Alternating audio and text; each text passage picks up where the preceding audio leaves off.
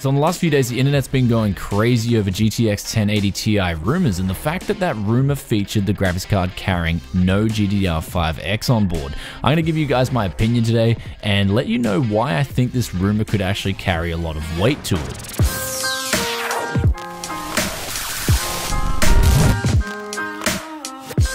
What is down guys other than that memory on the upcoming GTX 1080 Ti and that's exactly what I'm going to be talking about today with you guys because we've got some rumors and they've been released and we're talking 3328 CUDA cores. We're talking 12 gigabytes of GDDR5 memory. Now I'm going to stop there. GDDR5 memory, not 5X which was featured on the GTX 1080. It was also featured on the Titan XP or the Pascal version of Titan. And this is kind of an interesting rumor, and one that I actually think is going to be true when we look at how everything operates. And the first thing is Micron are the only people producing 5X at the moment, and it costs more than GDDR5, which has been out for almost a decade now, essentially.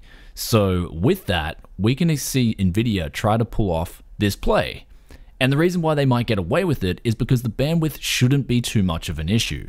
When we look at the fact that it's got a 384 bit wide bus there on the memory, as opposed to the GTX 1080, which only has 256 bits, we can see that we've got a 50% increase there. And then we look at the actual data rate of the memory. We've got GDDR5 memory, the standard stuff, pushing 8 gigabits per second. So versus 10 gigabits per second on the GDDR5X. And now how this weighs into play here is as simple. Picture it like a highway. You've got four lanes on the GTX 1080. You've got four trucks driving at an aggregate speed of 125 kilometers per hour each. Now you've got a total speed there of about 500 kilometers per hour. Now if we contrast that to the theoretical GTX 1080 Ti that's going to be released, we can see that we've got six lanes now. So we're opening up another two lanes and we've got six trucks and they're traveling at 100 kilometers per hour.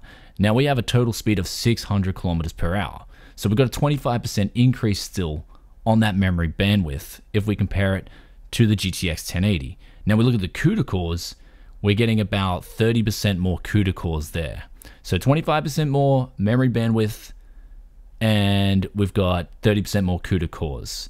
That kind of makes sense to me that they're going to play this play when it comes to the sales of the GTX 1080 Ti. Not only that, it's not going to distract too much away from the GTX 1080 sales itself. If you guys remember the GTX 980, when the 980 Ti came out, everyone just completely forgot about the GTX 980. I don't think Nvidia wants a repeat of that. I think they want to keep selling those GTX uh, 1080s and they also want to keep selling the Titan XPs as well. So they can do that by simply giving the Titan XP 5X and giving the GTX 1080 Ti non-X. And I think that way the hardcore gamers will still end up going out and buying that 1080 Ti because it's like that price performance king play there. It's the king of the graphics cards in the gaming world, but it's also going to have better price performance than a Titan XP.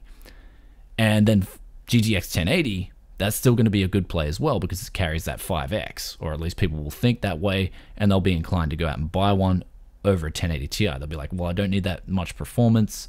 I'm just going to get the 1080 and save a bit of money as well.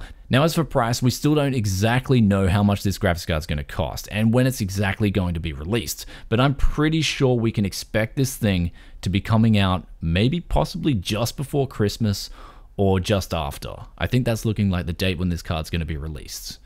So yes, 1080 Ti, huge specs there. It's going to be a downcut Titan XP, and I do think that they're going to cut down that memory bandwidth by using standard GDDR5. Though with that out of the way, we got the rumors here surfacing with a core clock of 1503 megahertz with a boost clock of 1623. Now that's coming in under the GTX 1080.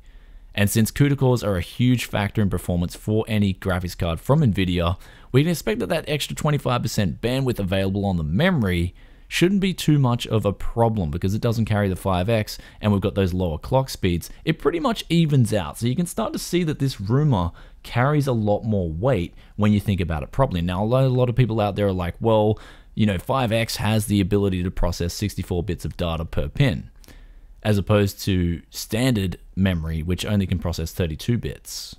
And that's a valid concern, except it doesn't apply to gaming. So, you know, that's out the window. When we make those valid comparisons with the GTX 1080 versus the 1070, we can see that the GTX 1080 really only carries that extra speed on the memory itself due to the faster memory.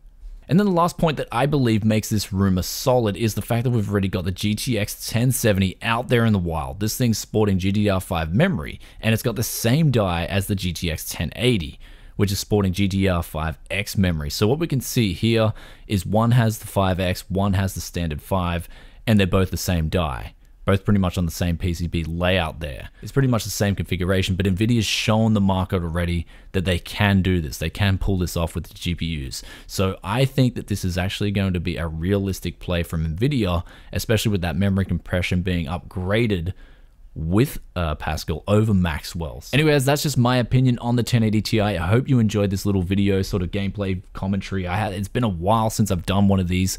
I've just set up my new V67G microphone from MXL. Pretty damn sexy microphone. Hopefully it sounds pretty good as well. So let me know what you guys think in the comment section below too. Do you agree or do you disagree?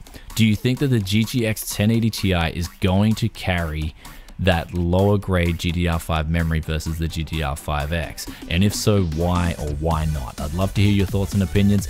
And if you like this video, then please hit that like button and I'll catch you guys in another tech video very soon. Peace out for now. Bye.